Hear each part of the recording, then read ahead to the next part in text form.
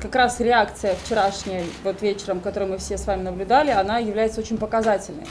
А, абсолютно очевидно, что власть очень сильно боится собственного народа и боится мнения большинства. А, мы абсолютно уверены, что рано или поздно настанет этот момент, когда им придется смириться с этой ситуацией и пойти на диалог с собственным народом. Или арест э, какой-то. И хотел бы все-таки услышать более мелкий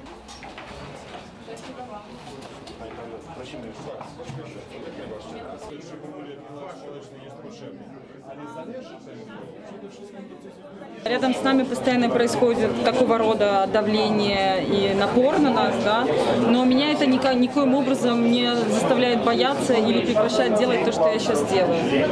Скорее нас, нас и всех это все еще больше объединяет, и как раз вот то, что увеличилось количество заявок после возбуждения уголовного дела, показывает, что всех белорусов объединяет, и мы сейчас как никогда вот сильны именно в своем порыве, свою волю э, как выразить.